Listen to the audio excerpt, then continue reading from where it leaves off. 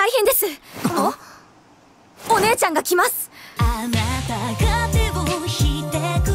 一言で言うと上司なんです。姉は国を預かっていますから。俺たちは黒組と呼んでいる。明神紅尾だ。こいつが犬塚一茶。そっちが木島右近だ。白夜の力を借りた。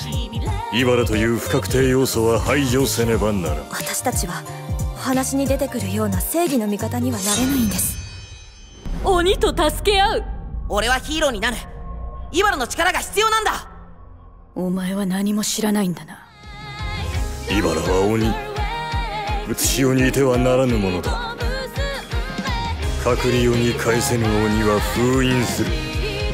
永遠にな。俺は救いたい。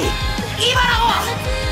んな8年前だよ。たった一人の生き残りだろ。ごめんなさい。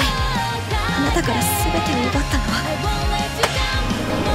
こいつが俺たちの本気！ぶち抜こうぜ